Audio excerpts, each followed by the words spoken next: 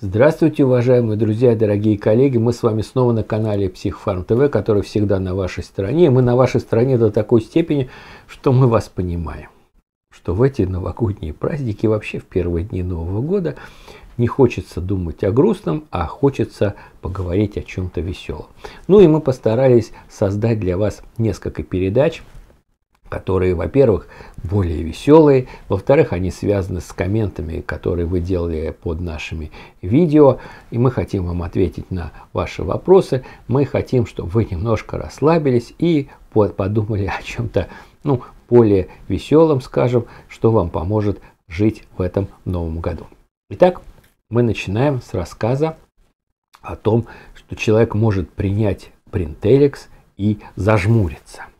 Как всегда, вы знаете, что Психфарм ТВ свои ролики основывает исключительно на научных данных. Вот наше внимание, а вообще вам надо сказать, что когда занимаешься препаратами, то постепенно начинаешь рабочий день входит в привычку с того, что читаешь, что нового появилось о том или ином препарате. Надо вам сказать, что был у меня учитель, который всегда свой рабочий день начинал именно с этого. Он просматривал, что нового, какие новые публикации о том или ином препарате. Ну, собственно говоря, постепенно и я тоже так начал делать. И вот мне попалась очень интересная статья, которая называется «Синдром Мейджа, связанный с вортиоксетином или бринтериксом у двух сестер. Сообщение о случае». Ну, кто-то скажет, а что за чертовщину я сейчас прочел? На самом деле это не чертовщина, это очень интересный синдром, который впервые был описан американским, вы видите, неврологом Вудом в 1987 году.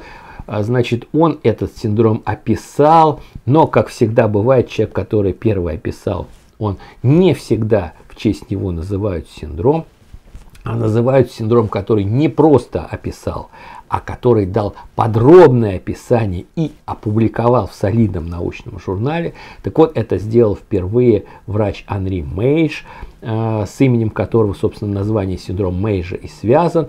В 2010 году он обследовал 10 пациентов. Вы видите, как этот синдром выглядит. То есть у больного возникают вот такие гримасы.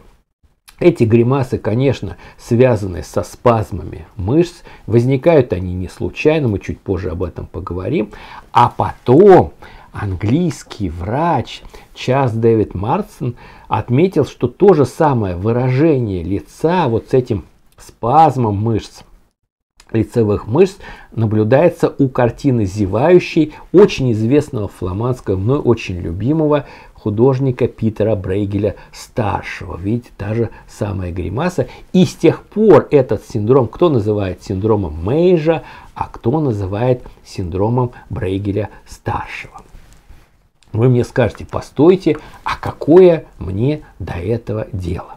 А на самом деле это очень и очень серьезно. Потому что, к сожалению, у нас никто не знает фармакологию, у нас никто не изучает фармакологию антидепрессантов, и из-за этого возникают большие проблемы. Но для нас, для людей, которые работают на Психфарм ТВ, узнать, что бринтеликс, вортексетин вызывает синдром Мейш, то есть больной начинает вот так вот гримасничать после приема этого препарата, было очень и очень интересным. Почему? Это свидетельствует о том, что наши предположения о том, как этот препарат действует, и, собственно говоря, предположения фармацевтической компании, которой этот препарат промотирует, я имею в виду компанию Ludwig, они совпали. Итак, с чем связан патогенез этого самого синдрома Мейджа? Считается, что этот синдром Мейджа связан с нарушением баланса основных нейромедиаторов в головном мозге. Вот из-за этого баланса нарушается передача сигналов, и больной вдруг начинает гримасничать. Самое интересное, что именно с этим связано, вот именно вот этим балансом различных нейромедиаторов связан механизм действия бринтеликса. Вот здесь видите очень интересную схему, которую нарисовал мой любимый профессор Стефан Сталь из Сан-Диего в попытке объяснить как Бринтеликс вмешивается в самые разные нейрональные системы. Вы видите из инструкции, затрагивает серотонинергическую, норадреnergическую трансмиссию, затрагивает гистаминовую, ацетилхолиновую, гаммкаргическую, глутаматную. То есть этот препарат действительно мультимодальный, затрагивает кучу различных нейронов, и поскольку может нарушить баланс, то и возникает вот этот синдром Мейджа. Таким образом, получается, что синдром Мейджа возникает на четком совершенно основании, на основании механизма действия этого препарата. С другой стороны, можно сказать, что появление синдрома Мейджа у больного с бринтелексом оправдывает наше представление о том, как этот препарат действует. Ведь многие думают, что то, что пишется о механизме действия препарата, какая-то выдумка, блажь каких-то там ученых. Нет, это не так. Действительно, знают о том, как препарат действует на нейроны, потому что это длительное время изучается, и в данном случае вот это вот гримасничание подтверждает механизм действия препарата. Поэтому мы с вами можем дать следующие рекомендации. Если врач увидел, что больной вот так вот зажмурился, когда ему назначили брентеликс, врач должен понять, что это идет не из-за того, что брентеликс один из самых дорогих антидепрессантов в нашей стране, больной не от этого зажмурился.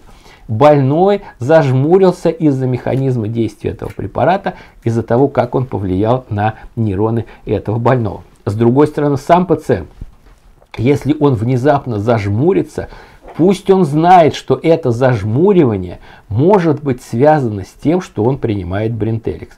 Поэтому, когда приедет скорая, он может уже что-то определенное сказать э, врачам, и тогда им будет понятней, что делать с ним дальше. Здоровья вам в наступившем новом году.